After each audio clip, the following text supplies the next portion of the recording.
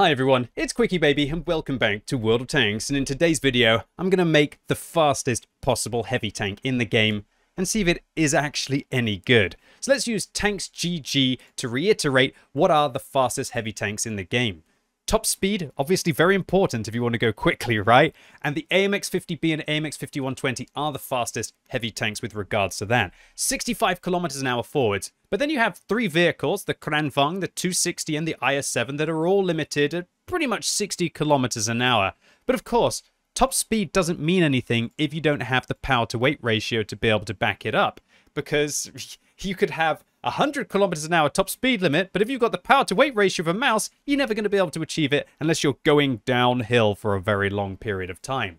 So vehicles like the FCM 50T, Concept 1B, Chrysler, and the Lorraine 50T, which looks to be a future possible reward heavy tank, all have great power to weight ratios, but their top speed limits are vastly more limited. So it comes down to the Object 260 and the AMX 50B to see who will truly be the fastest heavy tank. Now, this is where it's interesting because the 260 by default will actually go slightly faster on hard terrain than the AMX 50B, but because of the improved ground resistance as the AMX 50B have on medium and soft terrain, it is the faster vehicle there. But remember, because the Object 260 is limited to 60 kilometers an hour, if we make any improvements to the tank, like using a Bond turbo for example, or using Lend-Lease oil to be able to improve its engine power, it is still limited to 66. Whereas with the AMX 50B, if you put a Bond turbo on there and you use 105 octane gasoline, yeah, I think we have our winner. So, like an absolute mad lad, I have fully maxed out the AMX 50B. I have myself a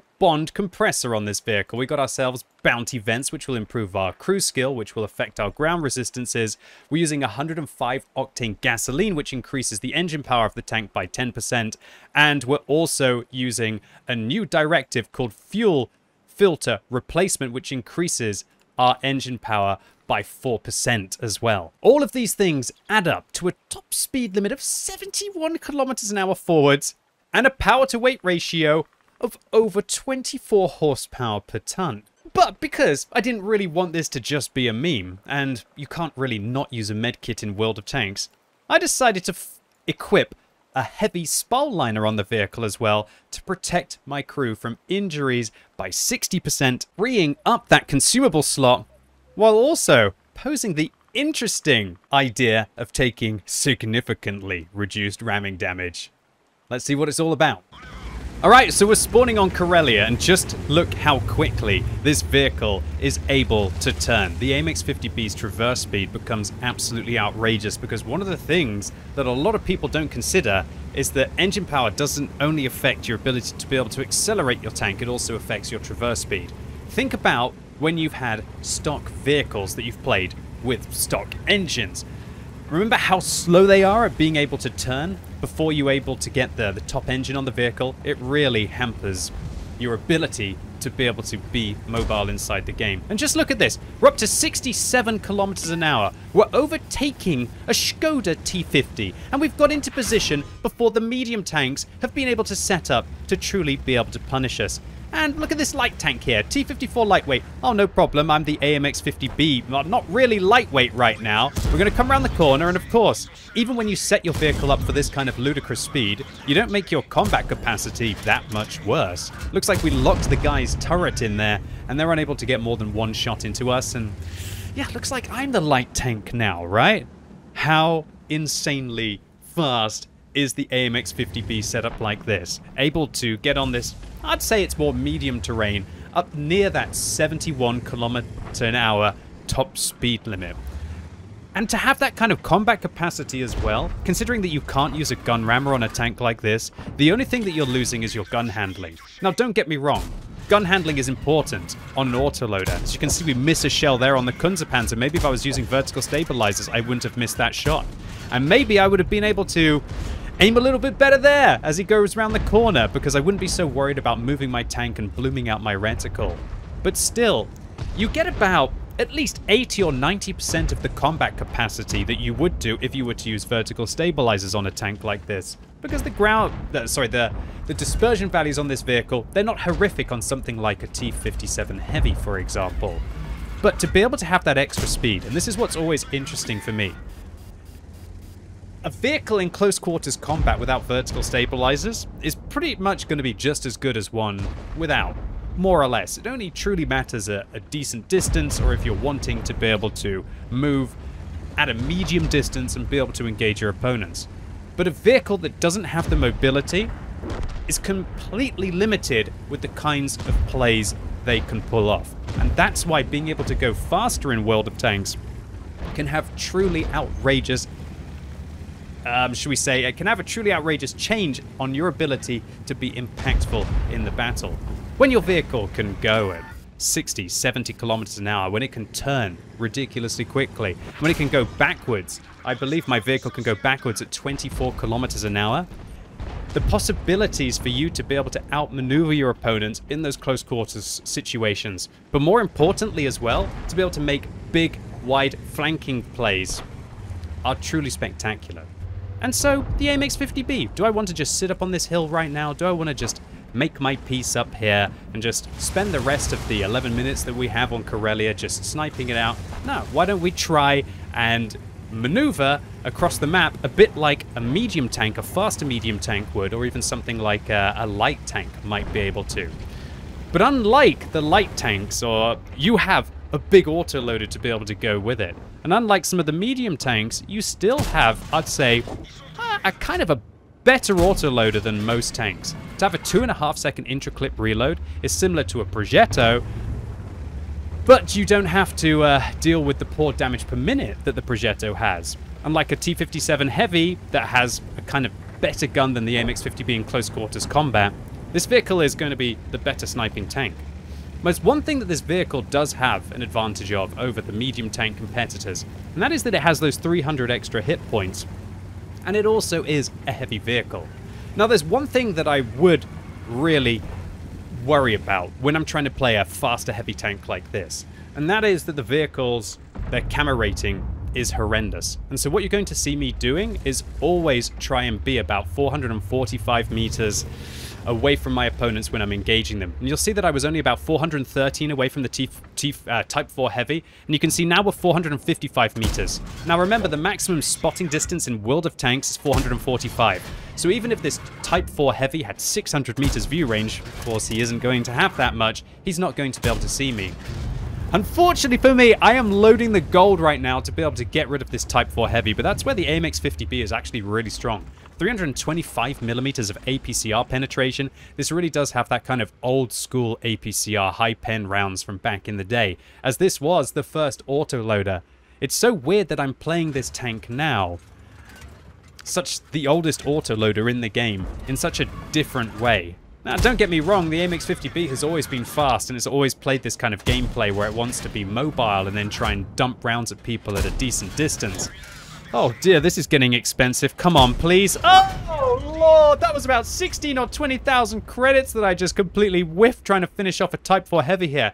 Maybe I should have loaded the high explosive magazine. Honestly, with the HE changes, I could have probably done about 30 or 40 damage each shot, and it would have been a quarter of the cost, and the vehicle would have been dead. But who knows, maybe those HE rounds will come in useful later on in this battle.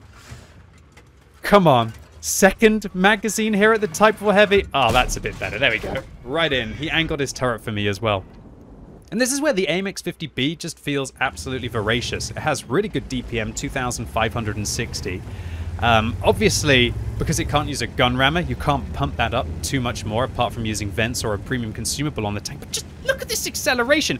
Does this truly look like a heavy tank? It doesn't. The way that it accelerates, the way that it goes backwards, the way that it can go up slope like that, this is not a heavy tank by any means. This is kind of a fast and medium tank at this stage. Oh, that Moistion's trying to have a go at me. I have to admit, though, without the vertical stabilizers, that gun handling on the move when I was trying to lurch away from the Moistion, maybe if I'd been using vert stabs on this tank instead of that spall liner, then it would have been a, a better setup. But here's the thing: if you don't use the uh, if you don't use the spall liner on this vehicle, then you can't use the premium consumable. You can't use the premium fuel, and then you start to lose that 10% engine power. And remember, they all stack on top of each other. And there's almost no point of having that Bond Turbo on this tank unless you are using the premium fuel. And that's where heavy tanks are outrageous. because quite a few of them have a very good top speed. But unless you can improve the ground resistances with excellent crew skills, and unless you can pump up the engine power with a premium consumable, or I guess the regular consumable, which costs five, uh, it's five percent engine power, then you're never truly going to be able to get up to that top speed, and the vehicle just doesn't feel as if it's worth it. So, I would honestly think that unless you are going to boost up the vehicle, that you probably should just go for a, a, turbo without it. Or alternatively, you probably just shouldn't even go for the turbo at all on a tank like this. Maybe just try and do your vents, your coated optics so you can spot for yourself at a decent distance. Alright, so let's see what the AMX-50B is able to achieve here. So we're going to go in. Unfortunately for us, our first shot doesn't go in. We're going to put our second round in. Our third round enters the AMX uh, 13105. And how about how do we handle a situation here against an auto-loading light tank? Well, why don't we ram them? There we go. We shunt them up the slope for 380. They actually bounce off us there, or they hit our tracks trying to lock us in place. And the Grilla manages to do a follow-up hit, keeping us in the game.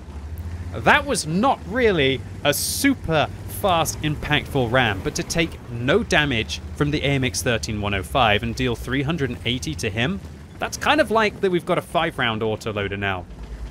With this build, I have been able to do some absolute staggering rams. Maybe I'll just try and put in a few highlights afterwards, if I can remember to do so. Um, no, I definitely will. I'll put in a few highlights of some of the rams this AMX 50B has been able to achieve. Okay, we're going to do one, two, three spins for Serb, and we're going to fire... and shut down the E75. Look, I'm not usually one to put on a tinfoil hat, but maybe it's just for comedic value, right? lock your reticle in place as to where the final shot was of the E75, finally finish reloading, spin the gun three times, and then manage to shut them down. Now I don't want to reload here because I was thinking I'll maybe get a few shots at the standard B while we were progressing. But now that we haven't managed to find them, I guess I want to just check over this ridgeline before I'm going to commit to a reload. Now the reload on this tank is not even that bad.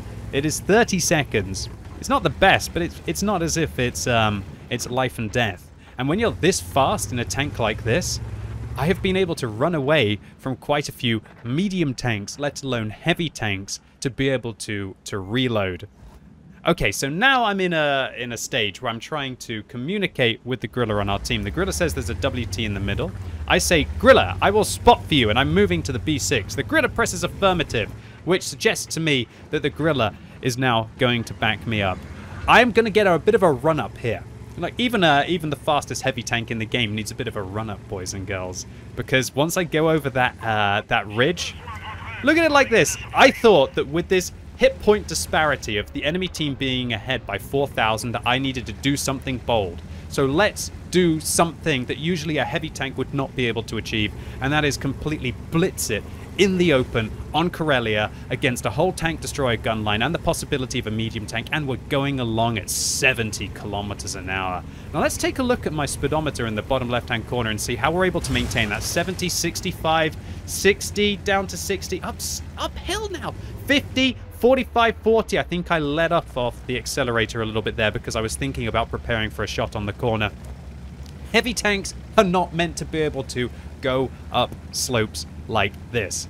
This is what happens when you have a Bond Turbo. This is what happens when you have the premium engine consumable. When you've got yourself brothers in arms, when you're also using the, the coffee and croissants on a vehicle like this to improve your driver cruise skill, which also affects your ground resistances and your ability to be able to slip up those slopes. And when you have new directives in the game that also increase your engine power furthermore. Now the game's actually starting to look a little closer now as my team managed to pull off a couple of kills, but at least we're still down by 3,000 hit points. So I'm hoping that the Skoda, the Super Conqueror and the Badger can still manage to hold back that flank, but unfortunately for me, I managed to get spotted, which means that the STRV or maybe the WT auf Panzer IV or possibly even a Badger is looking back at us. I say thank you to the Grilla for coming and helping me, and also the Grilla was a pretty big dude there because he waited on the edge of the cap circle so that we entered at the same time to be able to put some more pressure on our opponents. Alright, so remember the hit point bar that we see at the top of the screen, and oh dear. Poor Mr. Grilla gets caught out by the WT auf Panzer IV. And yeah, he pays respects by pressing the F key in chat there. Poor Mr. Grilla pings the map as to where he got shot from. Kind of useful information that the WT is just a little bit below me. I want to try and spot him. I don't want to try and get caught out right now. Okay, I am just leaving that situation. Why? Because I've got a 120 millimeter caliber gun. I can never be able to go into an STRV 103 hull unless I shoot the weak point. Wow, great result for me. The Skoda T50 and the Super Conqueror spot the Super Conqueror is trying to flank me. And I'm hoping that I can get away from this full health STRV, and I'm just hoping that the WT auf Panzer IV or the Badger have also been reduced on hit points. Whether they have or not remains to be seen. I'm really hoping that Badger is a little bit lower on hit points. The WT is also full health. We got two full health tier 9 tank destroyers that we're going to have to deal with. I am just praying that the Badger is not full health as well. I'm asking for shots from the Skoda against the WT Panzer IV. The Super Conqueror is approaching from the southeastern corner. Maybe he's going to be able to find the Badger who's trying to get a bit of a crossfire on me.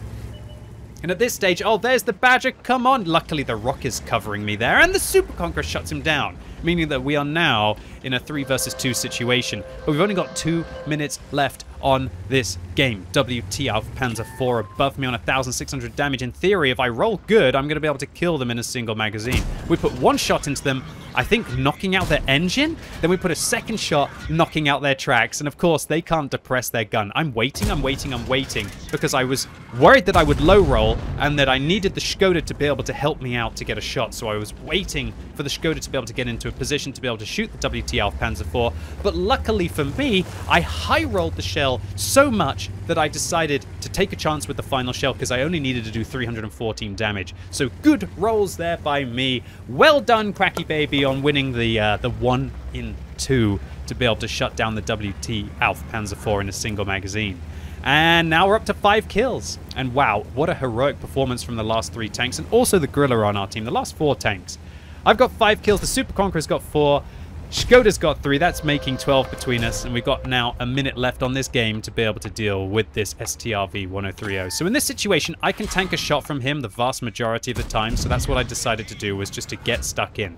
We're going to track him, lock down his position, get to his side. We're going to retrack him again. And now we're going to do little shunts to be able to stop him from tracking. But oh God, what are you doing, Skoda? Don't push the STRV into me. Oh my Lord. I nearly absolutely soiled myself at the end of the game there as the Skoda tried his hardest to turn an immobilized STRV 1030 into me. That could have been an absolute disaster. But wow, just how ludicrous, how quick the AMX 50B was here, how we're able to travel over so much of the map to be able to take the fight from angles that our opponents didn't expect, how we're able to pull back from positions that maybe slower heavy tanks would have been caught out in and engaged from sniper fire. And even with the lack of vertical stabilizers, the capacity for this tank to be able to engage in combat was not half bad. Anyway, I, I think I promised some of you a few rams. So firstly, I'm going to take my B-Wing and make a run down the uh, Death Star trench here. And unfortunately, for a little tier 8 medium tank on the enemy team, namely the Guard, they're going to find out what happens when the fastest heavy tank crunches into them at 60 kilometers an hour. That was 868 ramming damage. I think the thing that you've got to ask yourself here is that if you can ram something for 868 and only take 127 damage in return. Doesn't that make a vehicle that also has an autoloader even more deadly? One of the things that holds back autoloaders from being able to win those one-on-one -on -one engagements is being able to increase the damage of your magazine. Sometimes the 1600 is not enough. Maybe you bounce a shot, or maybe the tank has just got too many hit points. To have that extra from the ramming is outrageous. So here we join the AMX-50B in one of those really awkward scenarios where nobody wants to be the one to go round the corner to take a shot from a T-30 and an AE Phase 1. Well, enter AMX-50B, track the T-30 on the move, ram the T-30 for 749, and then still have two shots and enough to be able to finish off the AE Phase 1 afterwards. If you add up the damage that we dealt there, it was 2,113. Yeah, way and above the 1,600 damage that an AMX-50B would be limited to if it was only using its ammunition and not also its mass and velocity as a weapon. Of course, I did take over 500 damage from the T-30 when I rammed them, but what's going to do more to you a T-30 shooting you for 750, or you trading 500 of your hit points to do 750 to them, and to be able to take them out more quickly. Let's take this slightly more prolonged fight as an example. We've used our speed to be able to race through the field, and now we have an STRV-103B. We track the vehicle, they use their repair kit, and then we shunt them for 657, meaning that we can follow it up with a shell that finishes them off with an extra little bit of help for our ally. We still have two shells remaining to be able to go after the TVP T-51, However, we could have used a medkit here if we had one to be able to get rid of the stun, but I guess the subsequent stun from another artillery afterwards, if they even exist in the game, would have been diminished by the fact that we were using a super heavy liner. So that crunch engagement, we only took 77 damage from the STRV-103B there, dealing 657 to them. You really are trading up 10 times the damage against those mid-weight vehicles.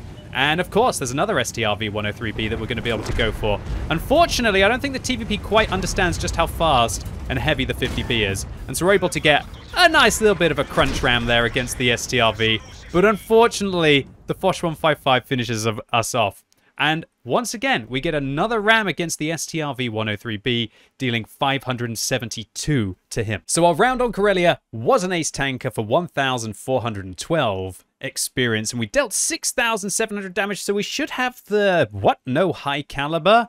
Oh dear, that's because Limpopo on the enemy team in the Badger actually dealt 7,500 commiserations to you for not taking down a game where you dealt that much damage. That's pretty outrageous. Although I have to admit, I lost credits this game because I did fire nearly 100,000 credits worth of ammunition at that Type 4 heavy at long range. And so, ladies and gentlemen, boys and girls, that was the fastest possible heavy tank in World of Tanks. What did you think about its outrageous capacity, especially for ramming, right? If you enjoyed the video, make sure you give it a thumbs up. If you hated it, however, give it a thumbs down. And let me know what other tanks you would like to do a similar build with. And as always, thank you so much for watching. You've been epic, and hopefully I'll see you soon.